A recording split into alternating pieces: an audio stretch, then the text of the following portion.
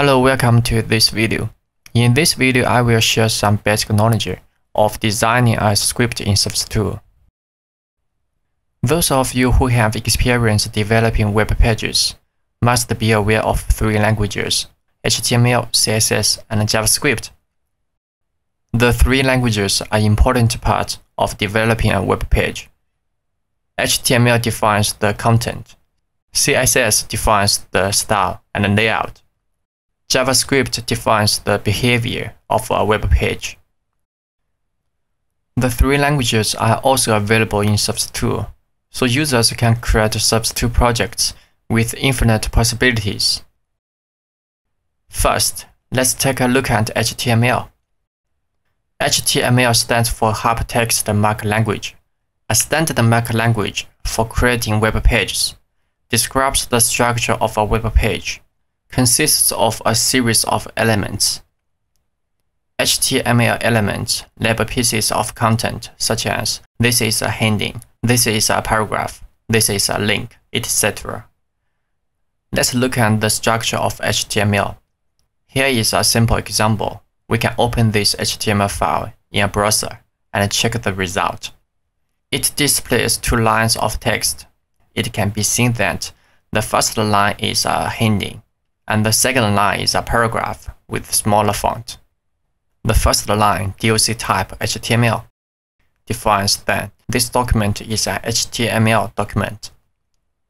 The HTML element is the root element of an HTML page. The head element contains the meta information about the HTML page. The title element specifies a title for the HTML page. It is shown in the browser's title bar. The body element defines the document's body and is a container for all the visible contents, such as headings, paragraphs, images, hyperlinks, etc. The H1 element defines a heading. The P element defines a paragraph. Now let's look at some common tags and attributes. HTML headings are defined with the H1 to H6 tags. H1 defines the most important heading. H6 defines the least important heading. Here is an example. In this HTML document, we add six tags in sequence. It can be seen that in the browser, heading 1 is the largest and heading 6 is the smallest. The HTML p tag defines a paragraph a paragraph always starts on a new line, and browsers automatically add some white space before and after a paragraph. Here is a very simple example. We use p tag to define two paragraphs in the body of the HTML document. The HTML a tag defines a hyperlink. Here is an example. We use a tag to define a hyperlink. The link's destination is Danfoss's website and the link text is this is a link. The division element is often used as a container for other elements. A division element is defined by div tag. Here is an example. In the HTML document, we use div tag to define a division element and use CSS language to set the font color to blue. In this division, we define a heading and a paragraph we can see the result when running in the browser. The font color inside the division is blue, outside is black. The image element is defined by img tag. The img tag is empty. It contains attributes only and doesn't have a closing tag. The img tag has two required attributes, src and alt. src stands for source. It specifies the path to the image. ALT stands for alternative. It specifies an alternate text for the image. If a browser cannot find an image, it will display the value of the ALT attributes. You can use the width and height attributes to define the size of an image. In this example, we use img tag to show a plus one logo on the browser. You can define a table in an HTML page using the table tag. You can use the tag thead and tbody to define a table header and a table body. The tag TR stands for table row, is used to define a row in a table. The tag TD stands for table data, is used to define a cell. The tag TH is used to define a cell in the table header. In this example, in the table header, we use tag th to define three cells and give them content, name, ID, and contact. In the table body, we use the tag tr to define two rows and use the tag td to define three cells in each row. We have covered a few common tags. Let's take a look at two common attributes, class and ID. The class attribute is used to specify a class for an element. Multiple elements can share the same class. The class attribute is often used to point to a class name in a style sheet. It can also be used by JavaScript to access and manipulate elements with a specific class name. The ID attribute is used to specify an unique ID for an element.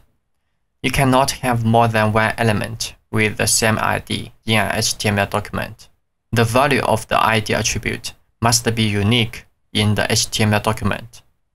The ID attribute is used to point to a specific style declaration in a style sheet. It is also used by JavaScript to access and manipulate the element with the specific ID. Let's look at two simple examples. In the first example, we define three blocks in HTML and set the same class attribute city. We use CSS language to define the style of the three blocks. As you can see from the browser results, all three blocks have the same style. In the second example, we define four headings. For the first heading, we set the ID attribute to header. For the other three headings, we set the class attribute to city. The syntax for ID select is hash mark followed by the ID name, then define the CSS properties within curly braces. As you can see from the browser result, the first heading has the light blue background color, black font color, 40 pixels padding, and the text line center.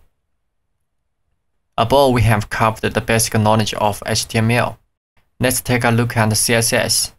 CSS stands for Cascading Style Sheets. It determines how to display HTML elements on screens. CSS saves a lot of work because it can control the layout of multiple web pages all at once. It is possible to use an external style sheet with the CSS extension. In this example, we define a heading and a paragraph in the body element and in the header, we define the style using CSS language. We set the background color of body element to light blue, set the font color of heading to white, and the text align to center. We set the font of paragraph to Verdana and font size to 20 pixels. Let's take a look at the syntax of CSS.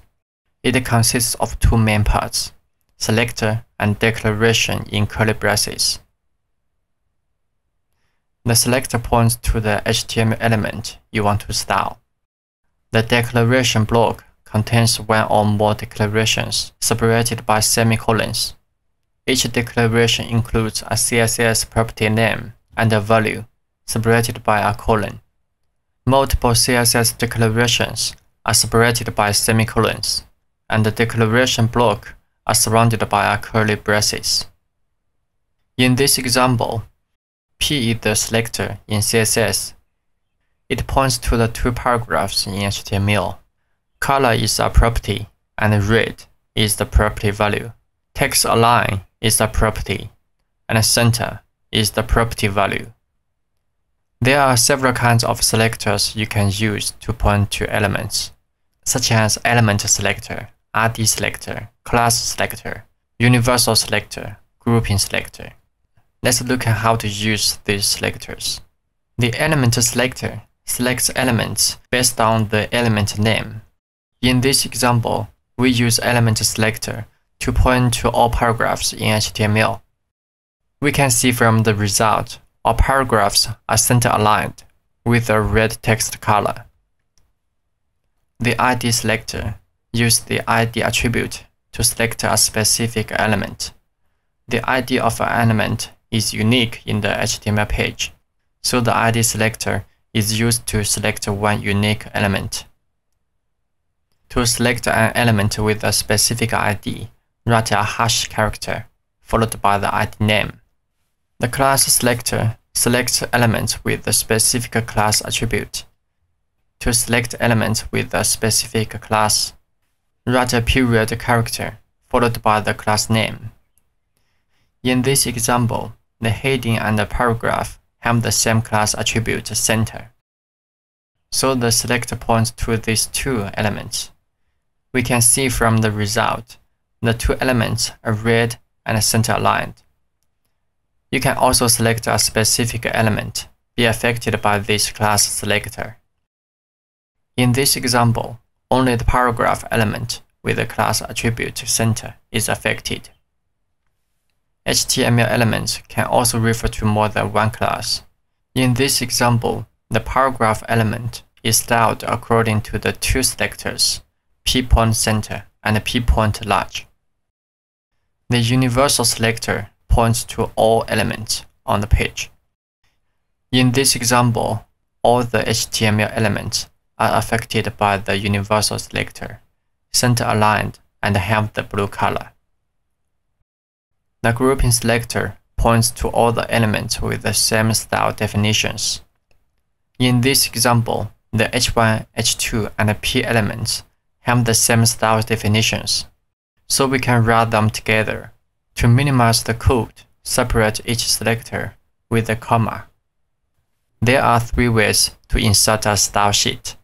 External CSS, internal CSS, and inline CSS.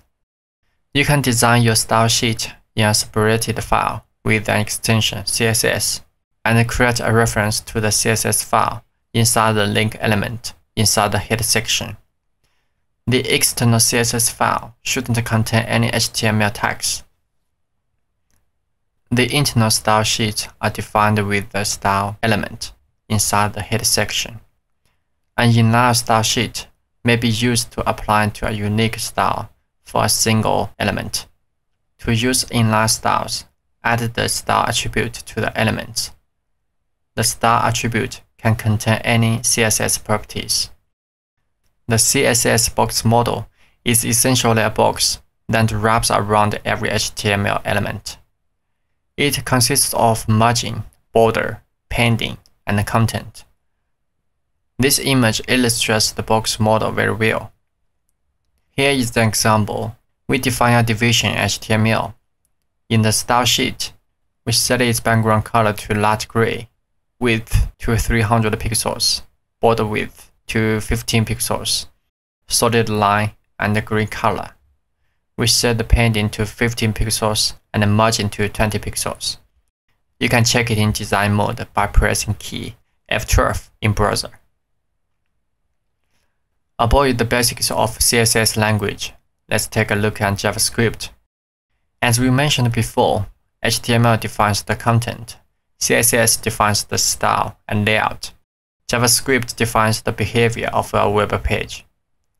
JavaScript can change HTML content.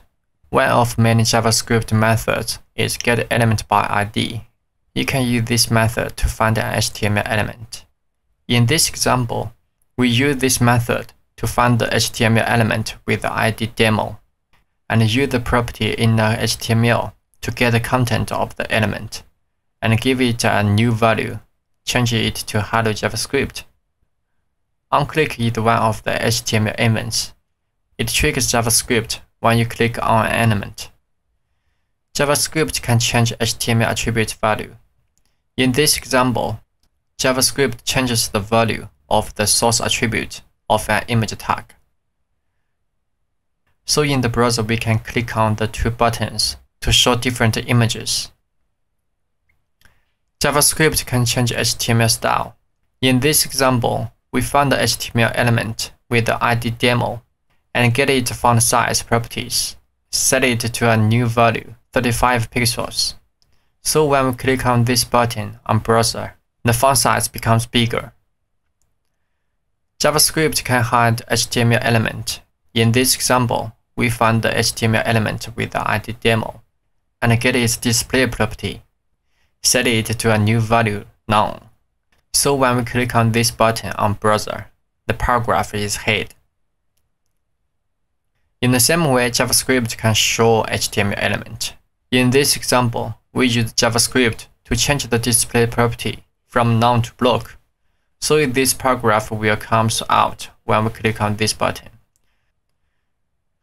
In HTML, JavaScript code is inserted between script and slash script tags. You can place any number of scripts in an HTML document. Script can be placed in the body or in the head section, or in both.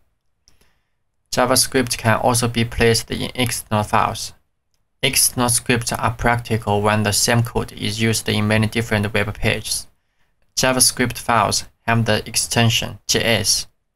To use an external script, put the name of the script file in the source attribute of a script tag. In this example, we define a function in an external script file and place a reference in the HTML body section. External scripts cannot contain script tag. A JavaScript function is a block of code designed to perform a particular task. It is executed when something calls it. A JavaScript function is defined with the keyword function, followed by the function name followed by a pair of parentheses. The parentheses may include parameters separated by commas. The code to be executed is placed inside the curly braces. In this example, we define a function named myFunction. It has two parameters, p1 and p2. The code to be executed is return the product of p1 and p2. When we call a function, Parentheses should be followed by the function name, otherwise the function object is returned instead of the result. HTML events are things that happen to HTML elements. When JavaScript is used in HTML page, JavaScript can react on these events. Here is a list of some common events.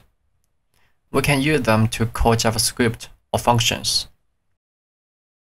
In this example, onClick attribute is added to the button element, calls the JavaScript code, then changes the content of the paragraph with the data value. In the next example, the onClick attribute is added to call the function displayData. This function is defined to change the content of the element with the date value.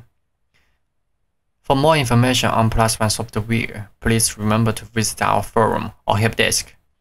And don't forget to subscribe our YouTube channel to see our latest videos. Thank you for listening.